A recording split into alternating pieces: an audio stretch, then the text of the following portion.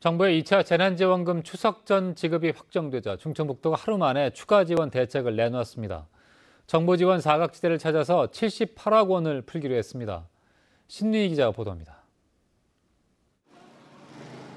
먼저 정부 집합금지 대상에 포함된 노래방 등 도내 고위험 시설 3,700여 곳에 정부가 주는 200만 원 외에도 50만 원씩을 추가로 지원합니다. 충청북도가 자체적으로 집합을 제한한 목욕장과 보험업종에도 정부가 주는 100만 원 외에 50만 원씩을 추가로 풉니다. 이번 정부 지원에서 빠진 전세버스 기사 1,900여 명에게 1인당 100만 원씩, 시내와 시외버스 회사에도 기사 1인당 100만 원씩을 지원합니다. 어린이집 차량 운행기사도 1인당 100만 원씩을 받습니다. 그동안 사각지대였던 법인 택시 기사는 정부 지원에 포함돼 개인 택시와 똑같이 1인당 100만 원씩을 받게 됐습니다.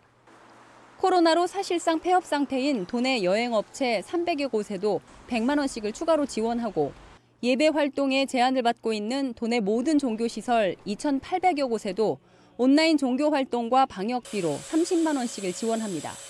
이르면 이번 주 후반부터 긴급 재난지원금을 지급할 예정이며 우리 도에서는 도민 여러분께 최대한 빨리 지급될 수 있도록 적극 지원하겠습니다.